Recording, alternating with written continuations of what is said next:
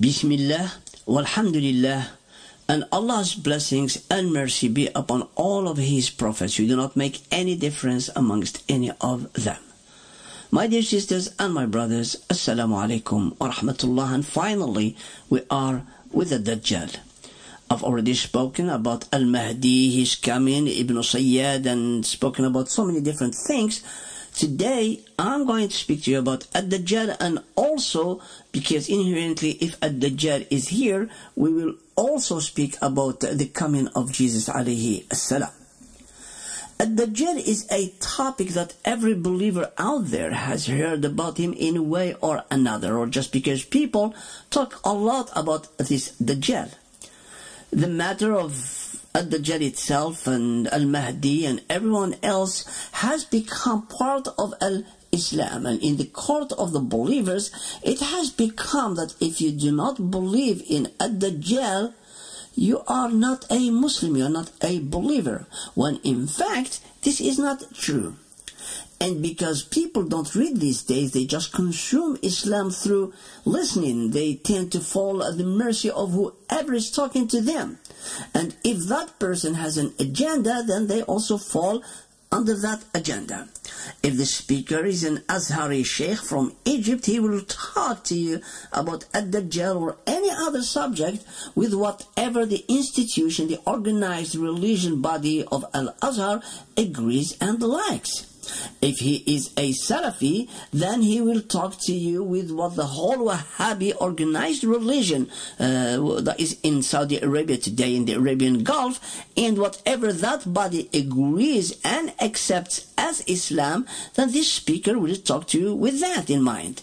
If the speaker is a Shia, he will also talk to you with whatever the whole Shia think is all about, about the Mahdi and all the events that will take place. Of course, if someone says to them they don't believe in a Dajjal, myself, I don't believe in a Dajjal, and uh, even though when it comes to the Quran you have done nothing, absolutely nothing wrong, but to them they will take uh, this argument and escalate it differently. They cannot tell you it is haram not to believe in a Dajjal because they can't prove that. They take another route, and that is Ad-Dajjal has been spoken about by the Messenger of Allah. If you reject Ad-Dajjal, that also means you reject the Hadith, the Sunnah. And if you reject the Hadith and Sunnah, then you are a kafir. And you can apply these escalating arguments pretty much in anything. If you tell them, for example, I don't believe that the messenger would curse a woman who puts makeup and goes out. They will tell you, no, the hadith says so, and if you don't believe in that, it also means you don't believe in sunnah, you're kafir, and pretty much you can apply this law in anything else. Recently, I was just listening to a talk, and as I said before, every month I consume about 60, 80 hours listening, researching, reading, and doing all kinds of stuff, especially when I have a topic in mind. I do not leave a stone untouched, so to speak. So I was listening to a talk about uh, this an ex-Wahhabi sheikh that was blowing the cover on Muhammad ibn Abdul Wahhab, Wahhabism, and all that kind of stuff. And then this particular sheikh said something that really upset me. And I did write to him and asked uh, for a discussion between him and myself, and that I'm happy to call him or write to him and things like that. Of course, no answer to my thing because I wrote some arguments in the body of my email message to him and I said, you say this because he spoke in a video clip. So I told him, in the minute XYZ, you say this and what you're saying is wrong because, and then I go and give my arguments as to why I believe this person is wrong.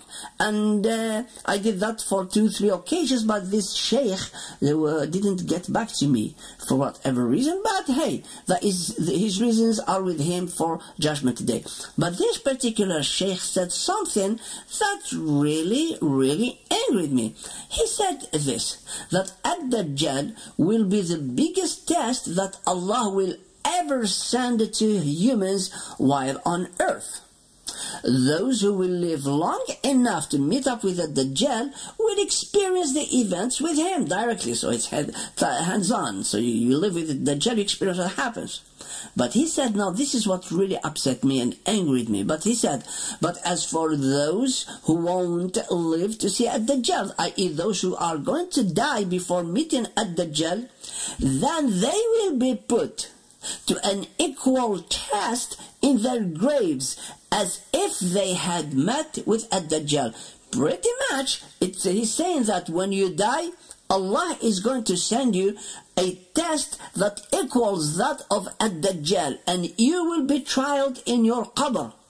And that really angered me because that is absolutely wrong, wrong, wrong, wrong. And uh, what can we say? Now, I am going in this talk here talk to you about ad-Dajjal. It might take two or three sessions about talking about this because I'm not gonna just narrate to you the events that are going to happen like in this futuristic post-apocalyptic uh, era. Now, what I'm going to do is this. I will tell you the hadith in the sequence of what they say. The Dajjal comes out and does this, does that. So we'll uh, kind of like narrate to you the story as is known today, but I will comment on each part as to why that whatever event they're talking about cannot be true. It cannot hold its water. And as such, that's why a Dajjal cannot exist as if the confusions already caused by Al-Mahdi and Ibn Sayyad, and I encourage you, if you have not listened to my talks about Ibn Sayyad, go back to them and take this talk from Ibn Sayyad and come up here so that you form a good idea about what I am talking about. So, as if those confusions in Ibn Sayyad and Al-Mahdi weren't enough, we're going to add up a third element, and that is Ad-Dajjal. But before proceeding, I'd like to share this thought with you. The time of the appearance of Al-Mahdi and that of Isa and Ad-Dajjal and uh, Ibn Sayyad at the time of Rasulullah and all these events as how they happened is not compatible with each other. I would have loved seeing a movie scenarist from Hollywood take the best top movie maker and give him the events how Al-Mahdi will appear, how Ad-Dajjal will appear, how Isa will come, and how this and how that, and this scenario the best will scratch their head because the timeline of the events is not compatible, and you will see this as I proceed through this talk. By now, you know very well that our men of religion are dishonest, and they really are dishonest. Any sheikh is dishonest, really any any of them, because they all have taken the knowledge from a particular school or university or ideology, and they preach accordingly, and they will tell you anything that the other institution says because at the end of the day if he doesn't then guess what he'll be criticized and categorized as kafir and, and innovator and so on and so forth so they always stay with the guidelines of the university they took the knowledge from even though they know in the books different books written by different scholars, there are different sayings. But those sayings that are different to what his school of thought tells him, he will never ever say them to you. Because for him, he will preach to you what he believes him, what his institution taught him, and you will follow the Islam according to how he sees it, not as Allah sees it. You see, Allah looks at Islam, sees Islam through the Quran. Not the Hadith, not the Sunnah, not what the scholars say. On Judgment Day, you will meet Allah and you will be held responsible based on how you interacted with Al-Quran. On Judgment Day, the Quran will be the only book in the court of Allah you will not find Bukhari, Muslim, Ibn Kathir, Tirmidhi. You will find none of these things. But these sheikhs today, as I said, are dishonest. They will tell people good stories, and but will hide the facts, and they know these facts do not work with each other, and they are just blind contradictions with the rest of the story. So the only uh, side they will take is the side that will work for them and their school of uh, thoughts. The story of Ad-Dajjal himself is a very valueless topic at all. It should not have been given any space at all in the beautiful religion of Allah. But we stuck with it. People are talking about Al-Mahdi. Is Al-Mahdi coming? Is Ad-Dajjal? What will happen? This, so much so that it has become like the Lord of the Rings. It's, it's a big fictional story altogether. They say to you and to me and to everyone else that Ad-Dajjal is the first sign of the major signs of the hour. It's the first of the major signs. And it, that is what's generally believed in, the, in our Sunni sect at all. So Ad-Dajjal is the first major sign of the hour. And what this means is that there are many major signs that will indicate the end of the world and they are just around the corner and the first of those major signs is the appearance of Ad-Dajjal. The belief has been reached by following what Ibn Hajar deducted and believed in. So we go back again to Mr. Ibn Hajar. And just in case you don't know who Ibn Hajar is, Al-Asqalani, he is a Sunni scholar. However, his aqidah, as the Salafi would like to call it, he is an Ash'ari. An Ash'ari is a hated sect in the Salafi world just like An-Nawawi and many others. But because An-Nawawi and Ibn Hajar Asqalani have been approved by the scholars' body back six, seven centuries ago, well, guess what? The people of today cannot reject them. So, and I heard this with my own eyes, a big uh, Salafi sheikh, uh, it's Wahhabi discussed Salafi, was asked about Ibn Hajar Asqalani. They told him Ibn Hajar Asqalani has got the wrong belief. He is an Ash'ari. How can we in, in, the Salafi world give him such a high praise?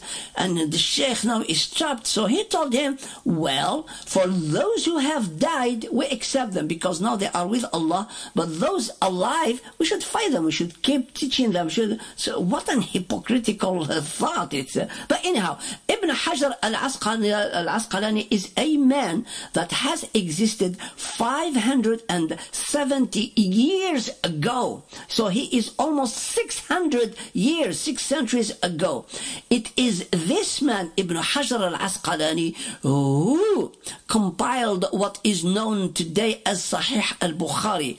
Al-Bukhari's book was not written as you see it today. It's this man, Ibn Hajar al-Asqalani, who has compiled al-Bukhari and he compiled it from 13 different versions of the Bukhari book. And those 13 different versions, they had different hadiths, different numbers, different wordings, different chain of narrators. They were a mess. And Ibn Hajar al-Asqalani wrote this in the introduction to his uh, commentary on uh, uh al-Bukhari. It's called uh, Hadi Sari fi Sharh Sahih al-Bukhari it's uh, Ibn Hajar al-Asqalani. So, but anyhow, so this Ibn Hajar al-Asqalani, as I said, is a highly respected in the Salafi world, even though his aqidah, as they like to call it, his belief, is not from their sect. He is an Ash'ari. Anyhow, Ibn Hajar al-Asqalani said the appearance of Ad-Dajjal in human form is not the major sign. You see how the battle girls they say it's major, is not. So it's according to who says what and what you, which one you want to pick. But anyhow, he says, but is rather how he changes from the human being to what he will become. That is the major sign. And despite him being a human being, he will order the sky to rain, and the sky shall obey, and he will order the earth to bring out its crops and produce, and it shall obey, and that he will be supported by so many different elements which are out of the ordinary. It is general belief, my dear sisters and my brothers, in amongst our men of religion that the major signs will come out in the following order. A Dajjal comes first, the descent or the coming of Isa then the coming out of Ya'juj and Ma'juj, the earthquakes, the smoke, rising of the sun from the west, the appearance of the beast, the fire that will gather people for resurrection. And you can go back to Fath al-Bari in the introduction of Ibn Hajar al-Asqalani. He lays down all these kind of things. Our men of religion believe that those major signs will happen one after the other. They will act as the countdown bomb, if you will, till explosion, till the end of the world. They even go to the extreme of mentioning some man-made hadith. Always remember, all these hadith are man-made. But now, so they will tell you about these hadiths that are reported by the famous Abu Huraira, where he claims that the Messenger of Allah said, the appearance of the signs shall happen on the footsteps of each other. They will be like the beads of a necklace. Once the necklace breaks, all the beads will fall one after the other. And this hadith is in At-Tabari and also reported by Ahmed, and they say it has a chain, or an authentic chain of narrator. So let's get started with the first of those major signs, and that is Ad-Dajjal itself. And the first thing we're gonna do is talk about his name. Why is it Ad-Dajjal? But anyhow, Ad-Dajjal is one part of two names because his full name as he is known is Al-Masih Ad-Dajjal. Okay, I repeat, his full name is Al-Masih Ad-Dajjal, shortened to Ad-Dajjal. At first, the name in English would just mean Al-Masih, just what you call it, right? Uh, or the Messiah. But ad-dajjal comes the verb of ad-dajjal, dajjala. And ad-dajjal is the act of covering lies and deceit with good acts with the intent of hurting others. The closest interpretation of his name is a con man. So instead of saying ad-dajjal, you can say the con man, and you are not very far at all.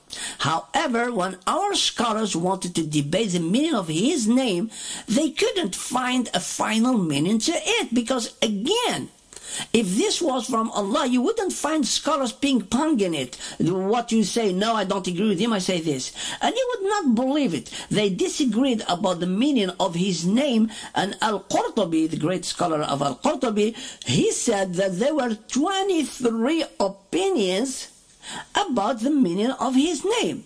Some other sheikhs reached 50 opinions, different opinions about what Ad-Dajjal, the con man, means. The bottom line is, they say that the term Messiah carries the two opposite meanings together. In other words, Al-Masih is a coin. On one side, it means the truthful, and on the other side, it means liar. And they cite, because Allah calls Isa alayhi in the Quran, إِنَّمَا الْمَسِيحُ عيسى بن مريم al-Masih. So Allah has named Isa as a Messiah. But the Hadith named the con man also as al-Masih. So what is al-Masih? Why did Allah call Isa إِنَّمَا الْمَسِيحُ عيسى بن مريم رسول Rasulullah? Indeed, the Messiah, Jesus, son of Mary, is nothing else but a messenger of Allah. Why would Allah say this to the children of Israel? What would the children of Israel understand by the term Messiah when Allah speaks it to them? Are they going to think like, oh, it's two uh, meanings and uh, on one side it's good and on the other side it's not good? Well, it's not that at all. It really, it's not that at all. Here is what happens usually.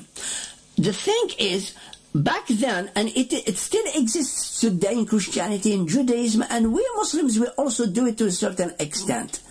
When someone embraces Christianity or Judaism or Islam, what do they do? They baptize them they baptize them. And I will leave a link for you in the description of this video, of this talk below, where they show you a real practical example on how people that accept Jesus as their Savior, their Lord, and how they get baptized in water. Already? So the Jews do it, the Christians do it, and we Muslims also do it. But we don't do it like the Jews and Christians in a church or things like that. You just make ghusl, you go wash yourself with water. Why do you wash yourself with water? That's how you baptize yourself for the new faith.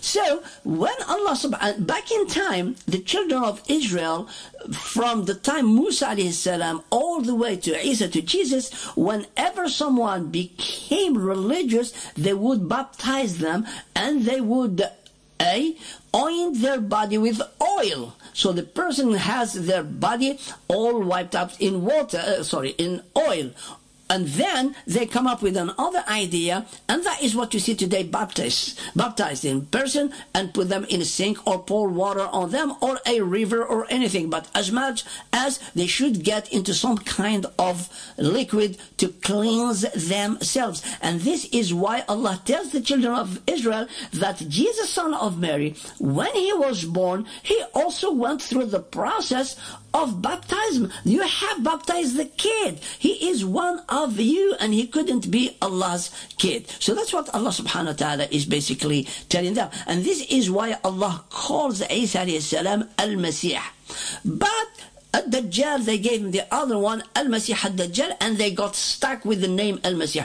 What are we going to do with it? And then they say, oh, the reason he's called Al-Masih is because one of his eyes, Mamsuh.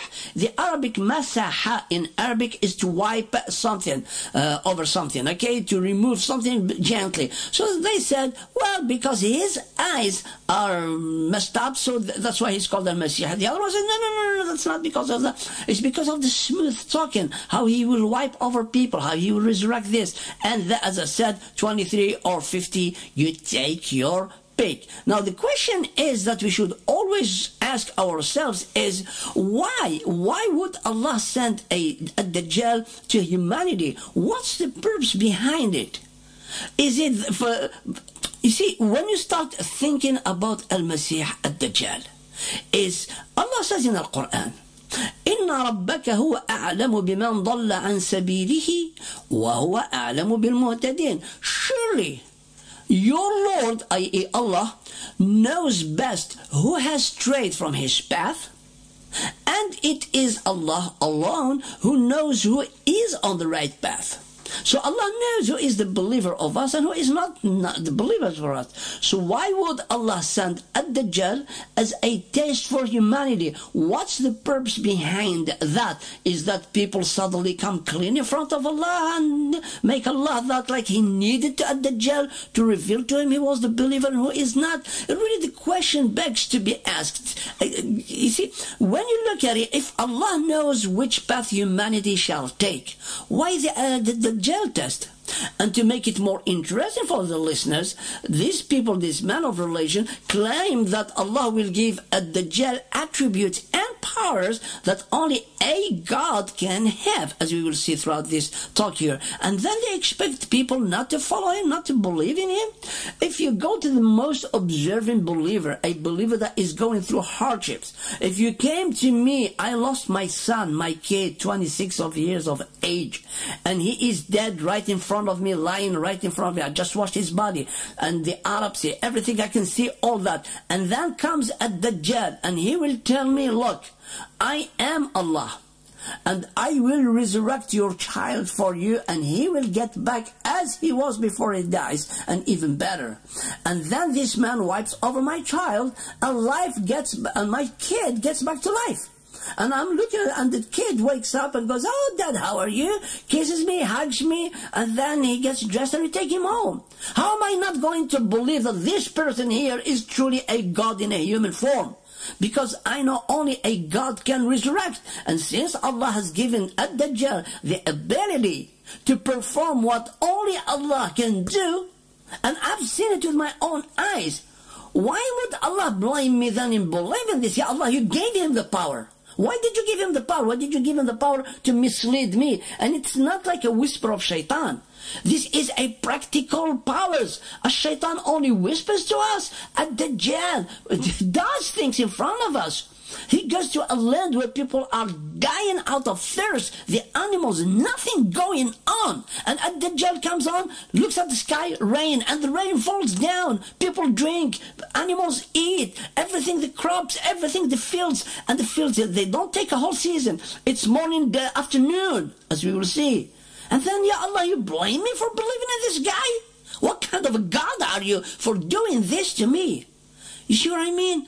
So that's why, my dear sisters and my brothers, the term Al-Masih or the Messiah literally means the anointed one. And as I said, the anointed one is someone who is smeared or rubbed with oil as part of a religious ceremony to baptize somebody into that religion. And as I said, this act was back in time, thousands of years, and is still performed in Judaism and Christianity and to some degree in our Islam. And I am sure if you've seen some movies uh, and when they baptize somebody, you will know exactly what I am talking about. But Ad-Dajjal's name is not because of his physical looks, is because of what exactly they don't know. 23 talks, 50 talks. The argument goes on. But that's why they just call him Ad-Dajjal. So enough with his name, and let's with this con man. We're gonna call him the con man, Ad-Dajjal, the con man, and uh, let's move on. We're gonna go to another point that is a great deal of contradictions, and that is in his description. Ad-Dajjal is a human being like you and me. He has a dad and he has a mother. Or so they say.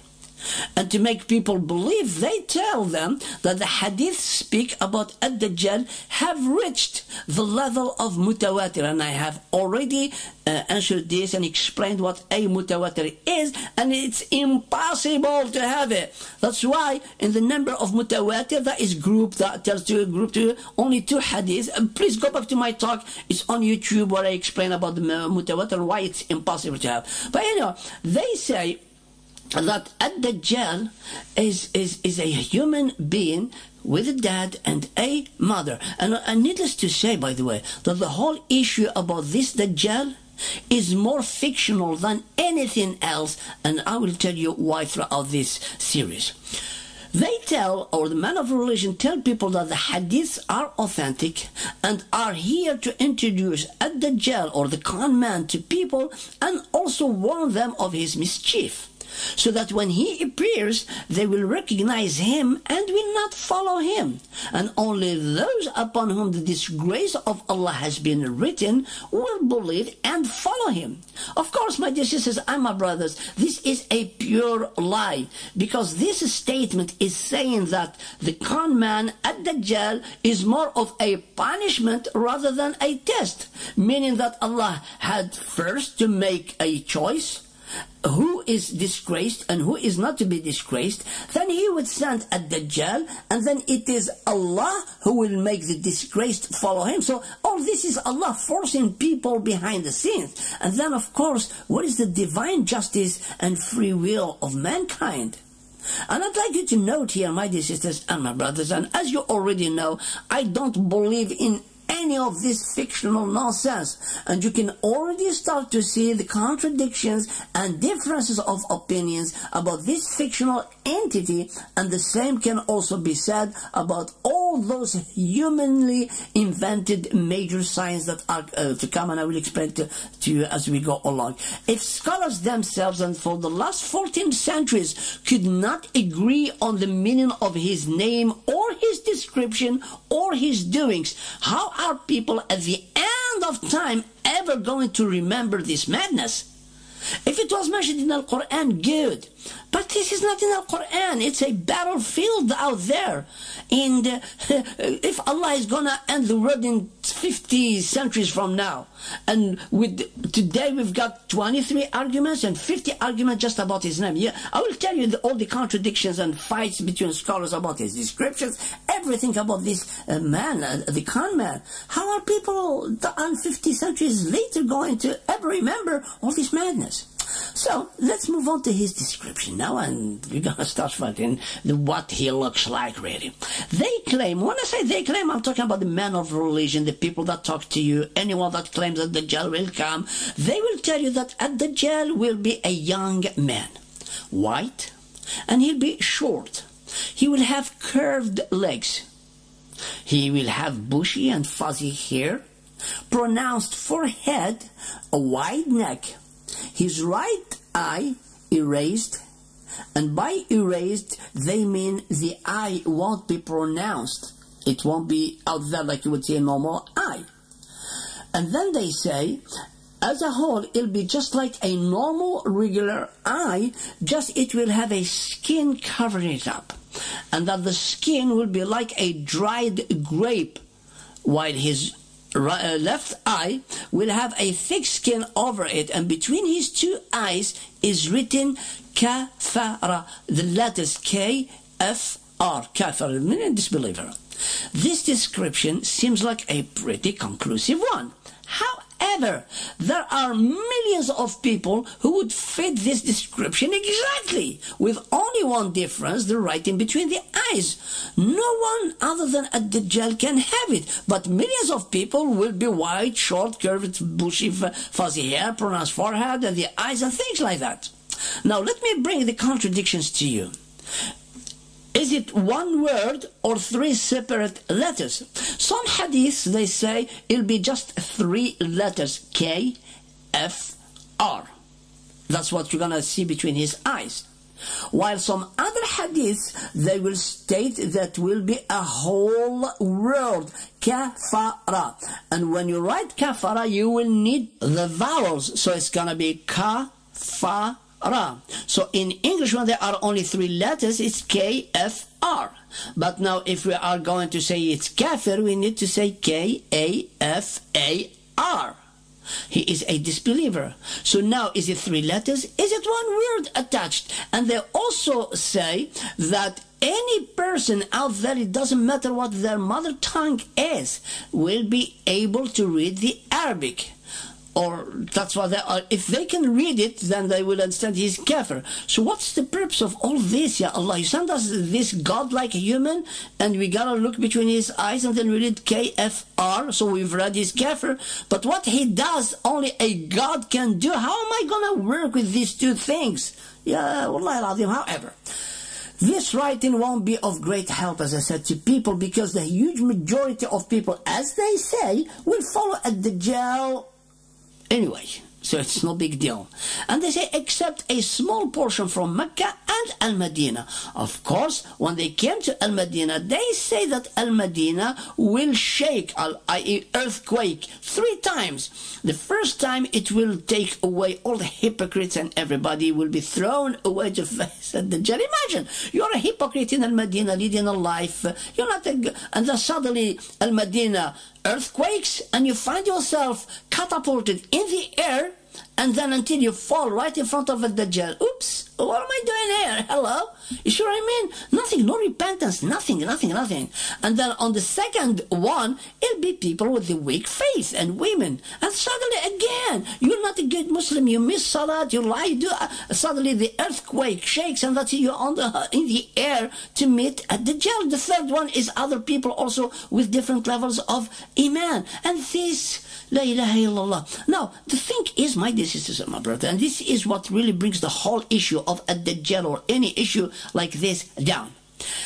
They tell you Allah sends a Dajjal as a test. Now, let's reason a little bit. What is Allah's vision here? What does He want? He wants to see who is the believer, who is not, and also he will make people realize that this person is not a God. And when Isa kills a Dajjal, then people should turn and should believe in Allah more. But guess what? That does not happen. A Dajjal comes and goes and humanity doesn't change. And what this shows, it shows that Allah hasn't been successful in what He wanted to do. He wanted something, he did his best, he sent the Dajjal, and he failed. And of course, this is a huge lie. There are many narratives describing Ad-Dajjal. Each narrative builds on a clearer picture about this man than the other. So the question, but they differ again and they contradict each other on which eye is dead. Is it the right eye or is it the left eye? Ibn Umar said, and this hadith is in Al-Bukhari, and as you know, in the worshippers of the hadith, it's authentic and you cannot argue with this hadith. But there, again, let's use the argument just to argue with them. Ibn Umar said that Allah's messenger said, While I was sleeping, I saw myself in a dream performing, performing tawaf around the Kaaba. That's when I saw a reddish white man with long and straight hair and water was dropping from his head. I asked, Who is this? They replied, The son of Mary, and they referred to Jesus. Then I turned my face to see another man with a huge body, red complexion, and curly hair. Okay, it's not fuzzy, it's not bushy, but this one is curly hair and blind in one eye. His eye looked like a protruding out grape. They said to me, so he didn't ask here, but they said to him, he is Ad-Dajjal. The Prophet then added, the man, okay, Ad-Dajjal, now he's going to give them a resemblance to who Ad-Dajjal resembles uh, to. They said that the Prophet said, the man he resembled most to is Ibn Qutn or Ibn Qatn. And this man is a man from the tribe of Khuza'a. And this hadith is in Al-Bukhari. Now, what kind of a prophet what kind of prophet is this who will put the life of one of his companions at the mercy of people? Ad-Dajjal looks like Ibn Qatn. What has this man done to deserve this accusation from a prophet? What has this man done to be linked to Ad-Dajjal? And then, from whom? From a man that Allah has sent as a mercy to mankind. It's like you saying to your dad, I saw today a child sex pervert and molester on the news, and he looks exactly like you. You, you look almost like you look like you are that man. How is your father going to take that? How is your mother, your siblings, your community gonna take your statement? If you're walking down the street on a public transport and someone comes to you and says, you know what? Last night I saw an assassin, a man who murdered, uh, blah, blah, blah, and he looks like you. So if you would not accept that, why would you accept something from a messenger? And this messenger has been praised by Allah. Allah says in the Quran, لَقَدْ جَاءَكُمْ رَسُولٌ مِنْ أَنفُسِكُمْ A messenger has come to you from amongst yourselves, a human being from people that you know. عَزِيزٌ عَلَيْهِ مَا عَنِتُمْ Your suffering distresses him. حَرِيصٌ عَلَيْكُمْ He is very anxious and very protective about your you and your well-being. بِالْمُؤْمِنِينَ رَؤُوفٌ رَحِيمٌ and he is full of kindness and mercy towards the believers. And then he turns to his companions and says, Ad-Dajjal looks like that man. Would a man with this godly endorsement and recommendation act like what Al-Bukhari claimed? The hadithic messenger is someone who doesn't care about people's feelings. He actually doesn't even care about their safety and their well-being. What if some maniac went and killed this man, Ibn Qutn or Ibn Qatn, just because he resembled an evil futuristic creature? Blessed be our messenger and blessed the day he walked on earth because the man that is the messenger of Allah that is in the Quran is completely different than the man that is in hadith and the books of the Seerah and so on and so on. But anyhow, I can sit here, my dear sister and my brother, and mention a number of man-made hadiths about Ad-Dajjal, but I will mention one hadith because it really will shed more light on this issue and pretty much comprehensive on the whole idea. But before going to that, I will, let's discuss the left eye. Again, this hadith is in Muslim. Hudayfa reported that the Messenger of Allah said, Ad-Dajjal is blind in the left eye with thick hair. And this is in Muslim. So Bukhari, Muslim. Again, now we're gonna go. So now we have a description of a man. The right, it's the blind. No, it's the left that is the blind. Maybe it's both, maybe it's not. But then we have another hadith that is now in Bukhari and Muslim at the same time. Where Abdullah ibn Umar said, One day the Messenger of Allah mentioned Al-Masih ad-Dajjal, the Antichrist in the presence of the people and said, Verily Allah is not one-eyed, but Al-Masih ad-Dajjal is blind in the right eye, which looks like a swollen grape. And this hadith is also reported in Bukhari and Muslim. The problem with this is when Muslim reported it's the left eye, why would he report that is also on the right eye? Is it like pick and choose? To sum up, my dear sisters, this hadith, hadith in Bukhari, his eye looked like a protruding out grape, no specification of which eye. Hadith number two, in Muslim, Ad-Dajjal is blind in the left eye. Hadith number three, which is in Bukhari and Muslim, It says Ad-Dajjal is blind in the right eye. In a court of law, the messenger's statement will be rejected. Someone says it's the right eye, and someone says it's the left eye. Of course, as usual, you have the hadith mechanics who will try to fix this issue. They said that even though the hadiths mention that the uh, Ad-Dajjal is blind in both eyes, they also withheld that both hadiths are authentic. And this poses a real problem. Ibn Hajar, again Ibn Hajar al-Asqalani, the great one, what do you know about Ibn Hajar by now? He holds the opinion that the hadith in Bukhari, which holds that Ad-Dajjal is blind in the right eye, is stronger than the hadith of Muslim, which says it's the left eye. Of course, this is his opinion. Many other scholars they say, no, you're wrong, let's do something else with it, and they what? Al-Qadi Iyad, again another man that existed 870 years ago, said, both eyes of Ad-Dajjal will have problems. This is like, he's a good mechanic. Now this man, so because both narrations are authentic, so right, left, you have to accept them, so we're gonna say both of them have problems. One eye is blind and the other is covered with a thick skin. Of course, with this kind of fixing, the rest of scholars jumped on this explanation and they stopped talking about this issue even though the hadiths remain problematic because if they were a revelation from Allah then we have a serious problems because Allah doesn't know what he's telling us. It's the right and the left and then we get confused and we try to solve them uh, by ourselves. So it's either Allah doesn't know how to pass authentic information to us or that his messenger isn't good enough to relay to us the information given to him by Allah those who have heard it from him weren't good enough to transmit the information to us. In all three situations, the information itself must get rejected. And in all cases, we have a huge problem. So we still, we don't know it's the right or the left. Ad-Dajjal, they tell us, has no progeny. They say that Ad-Dajjal is sterile and won't be able to have kids. Yet, when they said that Ibn Sayyad was Ad-Dajjal, if you remember Umar Ibn al-Khattab swearing and group of companions agreeing that Ibn Sayyad is Ad-Dajjal, he had a son, uh, a pious son, a scholar of the followers of the companions. Please go back to my talk on Ibn Sayyad to get a better idea about this point and other points. So is Ad-Dajjal Ibn Sayyad? No. Does he have kids? No. It's a mess. It's really, it really is a mess. Now there is another question that comes to mind. Is Ad-Dajjal alive? Was he alive at the time of the messenger? If yes, where was he living? Why didn't the messenger go kill him? Because he said to them, if he comes out and I am amongst you, I will take care of him, I will kill him. But now we have a hadith that is in Muslim and I will read to you.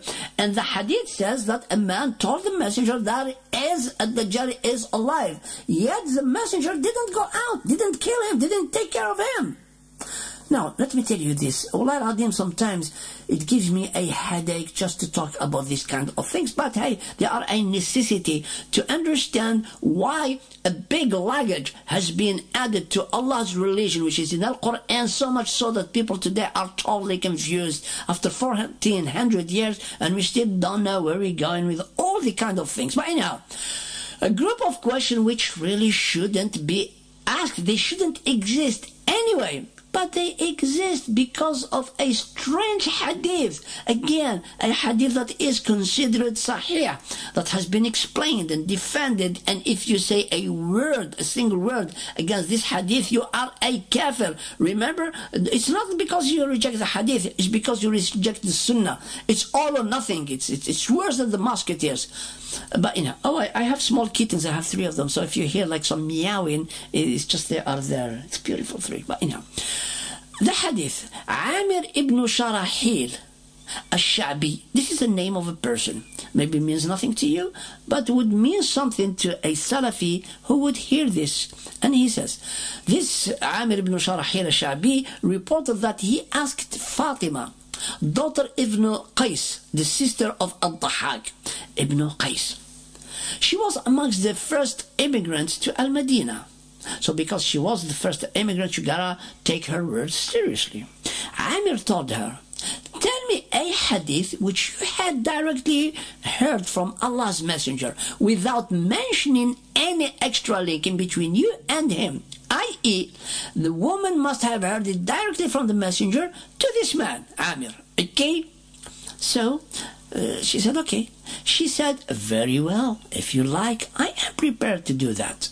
He said to her, well, do it and narrate that to me. What I'm reading here is a translation, but in Arabic it goes like this. It's a, it's a scenario for a movie in Hollywood.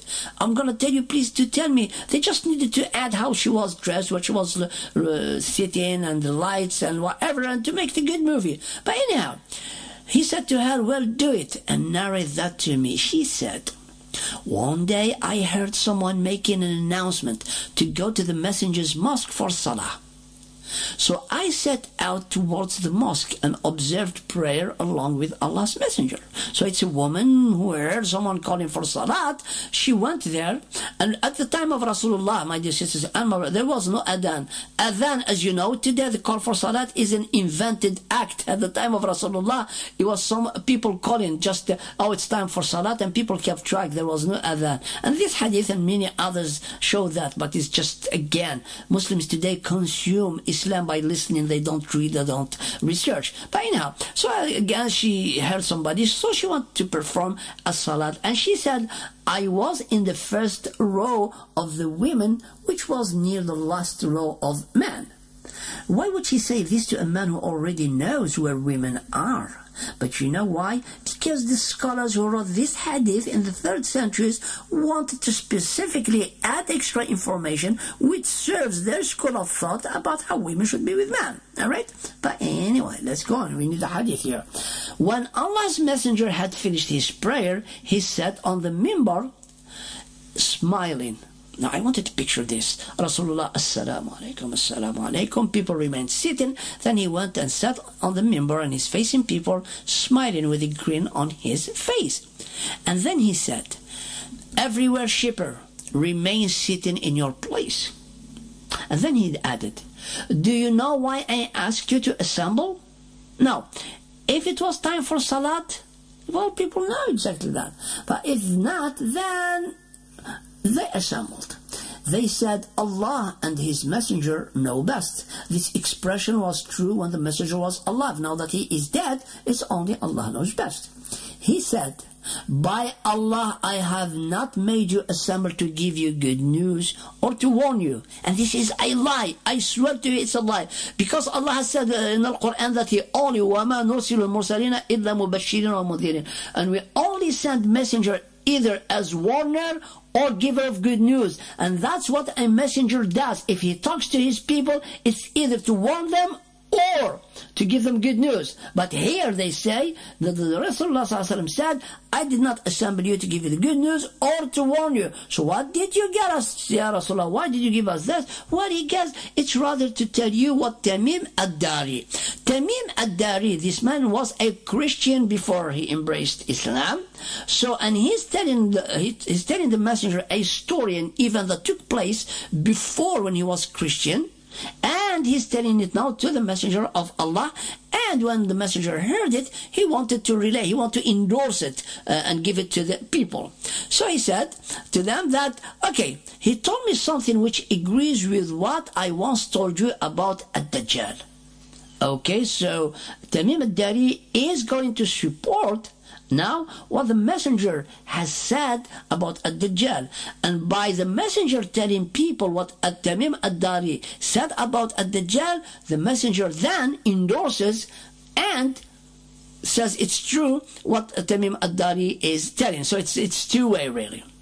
He told me that he once boarded a ship along with 30 other men from Lakhm. Lakhm is a, a, place, okay? And Judham, two places, two places, just like you say, London and Oxford or New York, and two places together, smaller villages.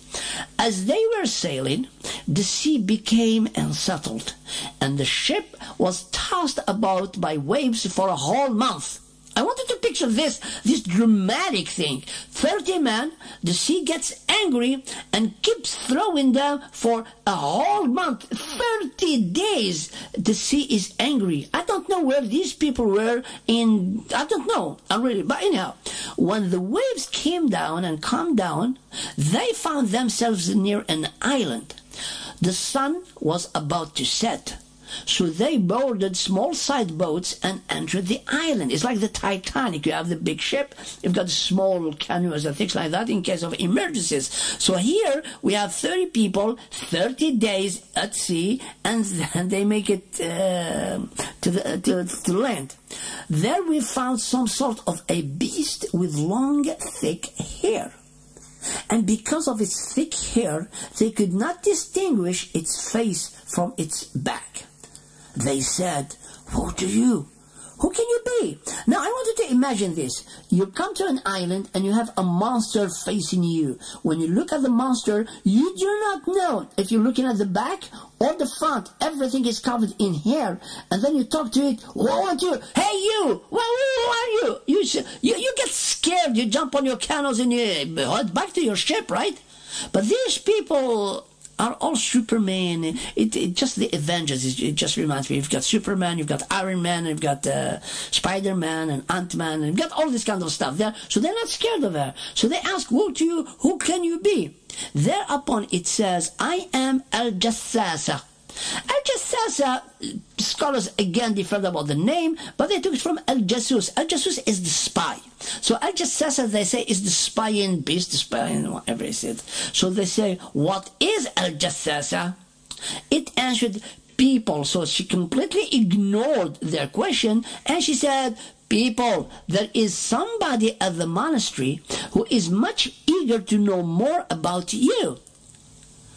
The narrator, Amr, said, When it named a person for us to meet, we were afraid for it lest it should be a devil.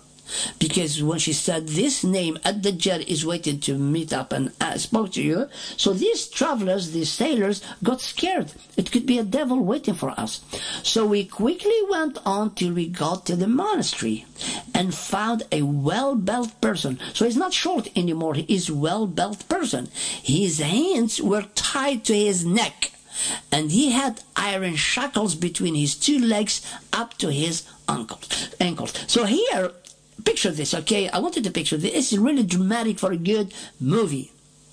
These 30 days, 30 things, the sea throws them, they don't know where they are, they end up on an island, they talk to some kind of beast, and they, hey, who are you? Things like she completely ignores them and tells them there is somebody who wants to meet you. Now, how did she know who they are for that person to meet them? Does she know the unseen? Is it written on their heads for us that they come from uh, the peninsula, the Arabian Peninsula? But anyhow, the story goes on like this. So now that they are facing with this beast, they said to him, Woe to you, who are you? He answered, You will soon come to know who I am, but first tell me who you are. So now this beast actually acknowledges that he doesn't know who they are.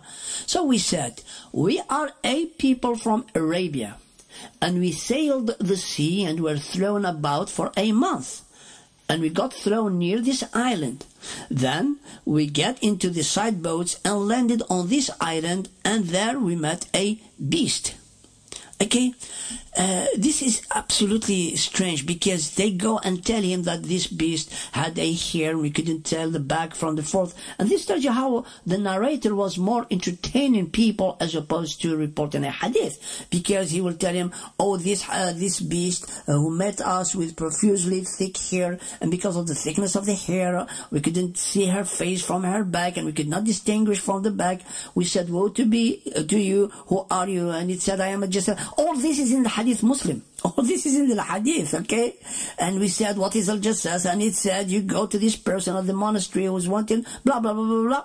This repetition is hilarious and very poor, and the messenger of Allah never ever said such a thing.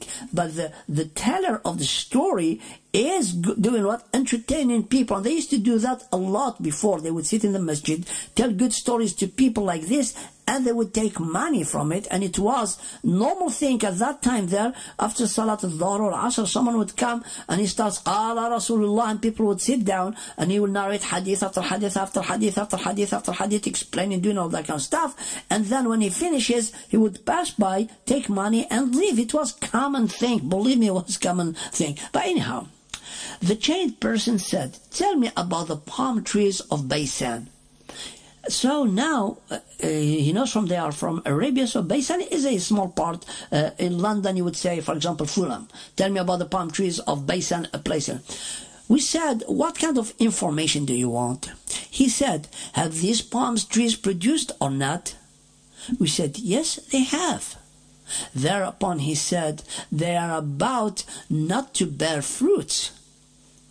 He said, inform me about the lake of At-Tabariya in Palestine. We said, uh, what do you want to know? He said, is there water in it? Well, he just told them the lake of At-Tabariya. Of course there is water in it, mister. But anyhow, they said there is abundance of water in it. Thereupon he said, it's about to get dry. Huh. He again said, tell me about the valley of Zukhar or Zugar. They said, What do you want to know? Again, Ad-Dajjal tells them, Is there water in it? And do they irrigate with water the land and get produce and things like that? We answered, Yeah, there is abundance of water in it, and the inhabitants of that valley water the lands with it. He said, Tell me about the prophet of the Ummiyin. What has he done? Ummiyin. the lie in this hadith is, is, is incredible. Wallah the, the, the manipulation is, is cool. It is really, but anyhow, Ummiyin in Al-Quran is they tell you, and it's strongly translated as the unlettered, the ignorant people who don't read and write. And people say, oh, the messenger doesn't read and write and he's ummi. Uh, this is wrong translations. Ummiyin, as Allah says it in Al-Quran, is, is just the Gentiles. The Jews call anyone who is not a Jew a Gentile. The translation of Gentile is ummi. That's all there is to it. So, but anyhow, when Allah said the Nabi ummi in Al-Quran, He meant he was not a Jew. That's all there is to it. Allah wouldn't tell them that my messenger is ignorant, is a dead ignorant, can't read and can't write, and here he's telling you Quran uh, because no, it's, but anyhow, that's a topic for another day. And uh, the, he said to them, What is the Ummiyin has done, the, their prophet? We said, He has come out from Mecca and has settled in Al Madinah in Yathrib. He said, Have the Arabs fought against him? We said, Yeah. He said, How did he deal with them? We informed him that he had overcome those in his neighborhood and they had submitted themselves before him. Thereupon he said to us, Has it really happened? We said, Yeah, yeah, yeah, it has, yeah, yeah. Then he said, Well, if it is so, then it is better for them to obey him. I am now going to tell you about myself. Now, I wanted to wait for it, but like for, for tragic effects, drum rolls and all that kind of stuff. All right? And then he tells them, I am a Dajjal and I soon will be permitted to come out. And once that happens, I will travel the land, and there won't be a town that I won't conquer. All that within 40 nights.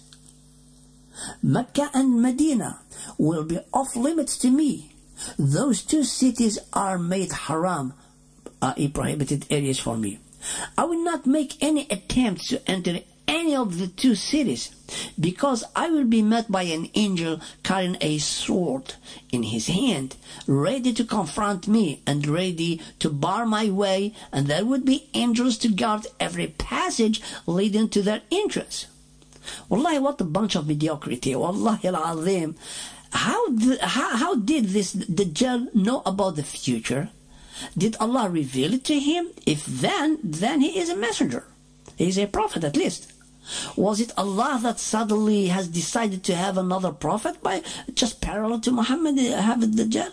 These are lies upon lies upon lies, and the man who was telling this bedtime story was embellishing it with all kinds of nonsense. And suddenly it became a hadith, and we have to believe in it. And if you don't believe in this nonsense, you go to hellfire. Anyway, let's carry on.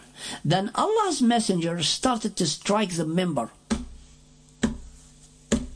He had a stick in his hand and started. And then he says, This is Al Madinah Tayyiba. This is Tayyiba. This is Tayyiba. It's a good city. This is a good city, referring to Al Madinah.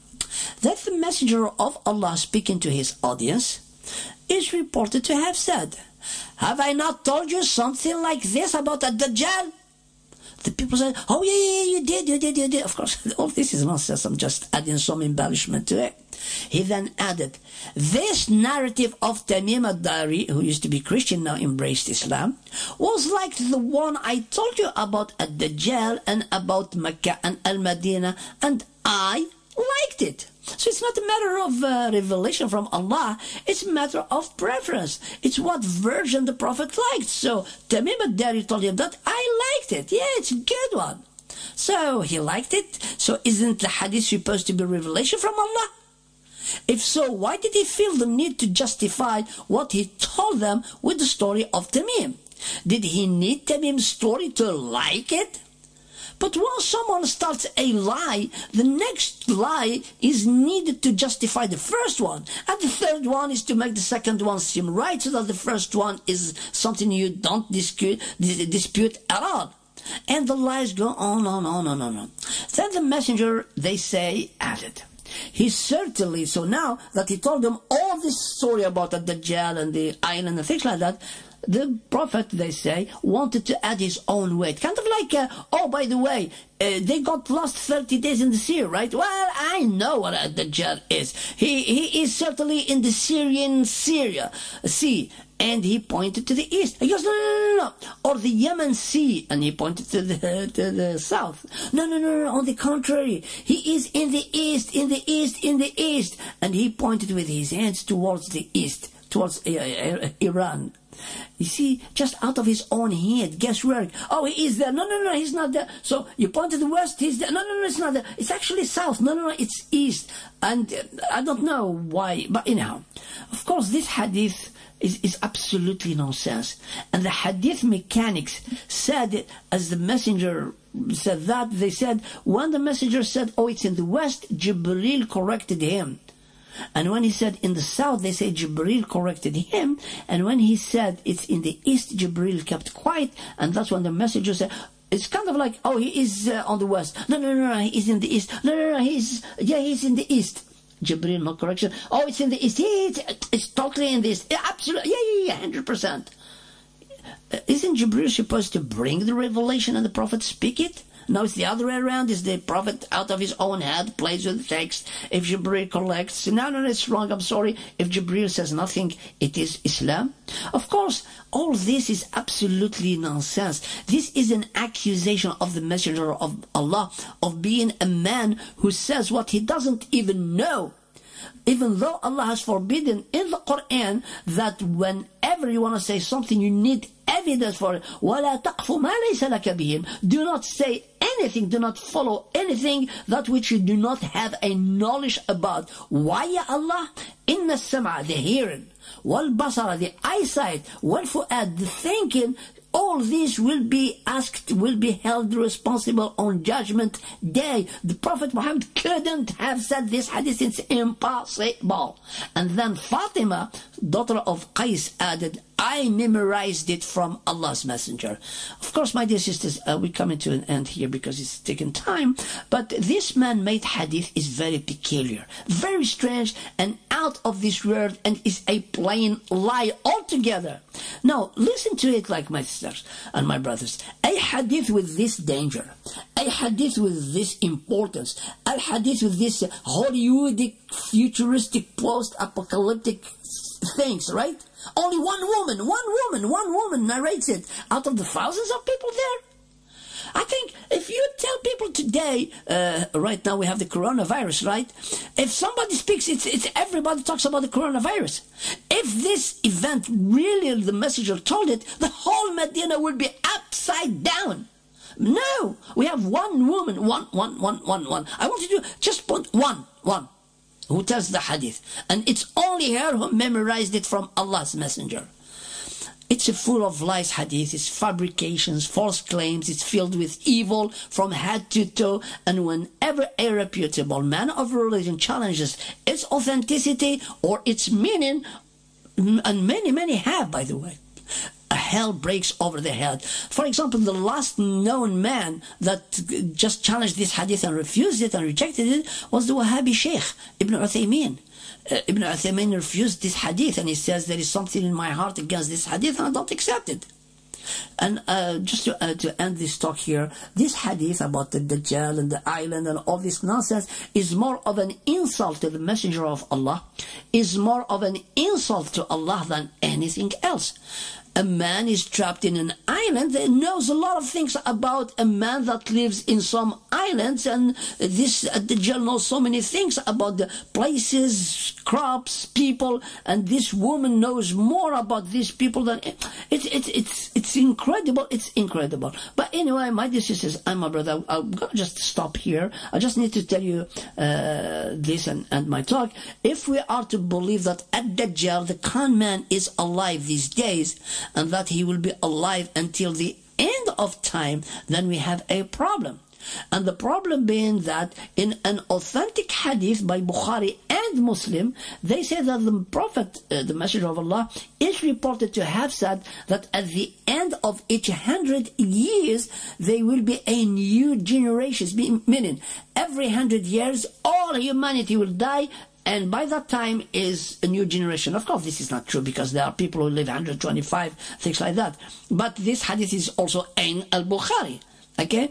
And then we have a Dajjal that's going to live thousands upon thousands upon thousands upon thousands. At least now, he's living 1,400 years since the Prophet Muhammad. And we're going to add 600 years till Jesus.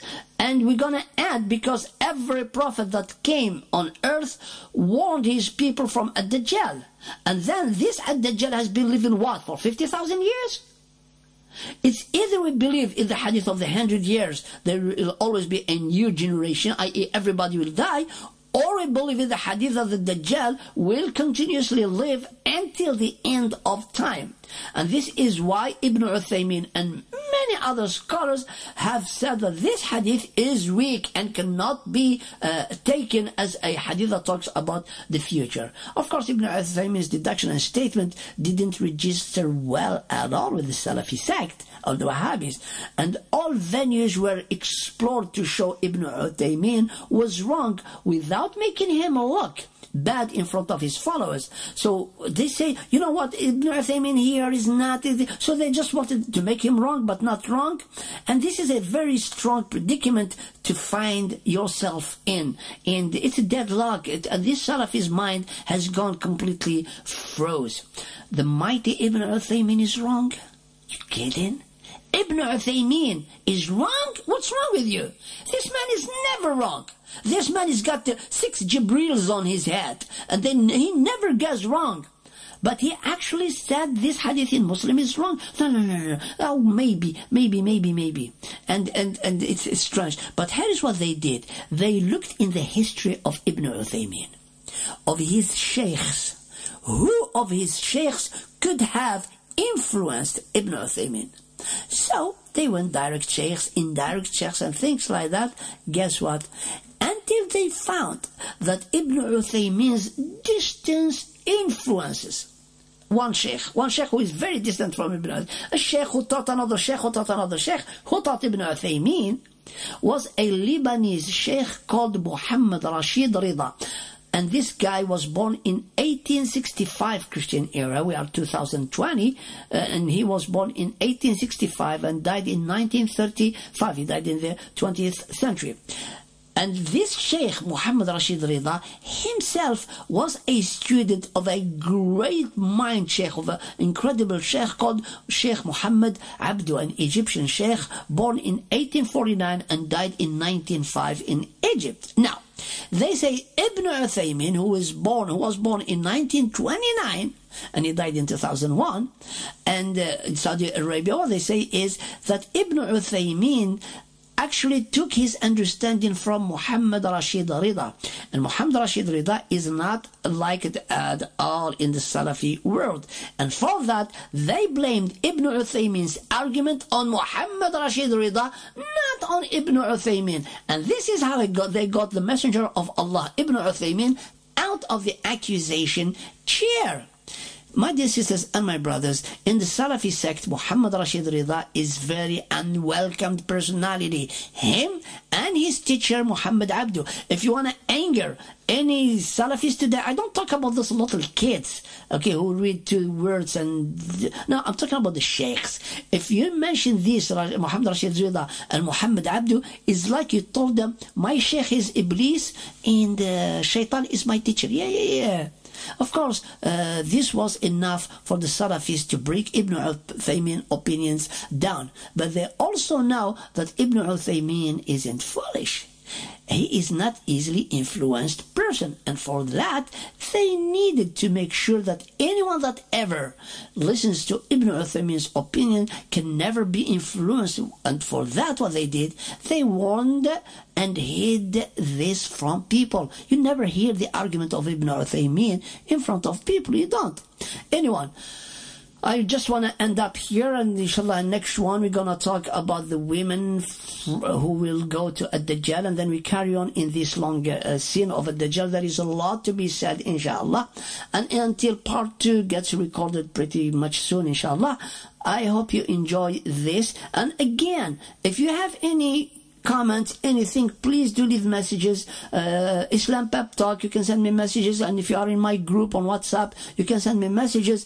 I put this information to you as I believe in, as I would love to meet Allah with okay and uh, that's it and then you are free if you want to carry on believing in a Dajjal and experience and say that this futuristic person is gonna come and set us free and blah blah blah you are free to do that.